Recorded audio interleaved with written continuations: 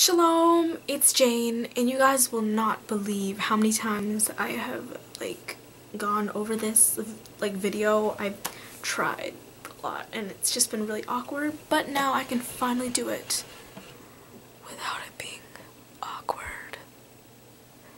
Actually, that was, that was pretty awkward. Um, so I'm to do this thing where it's, like, me singing, but it's not me singing. It's, like, the original person singing. I'm just lip syncing it.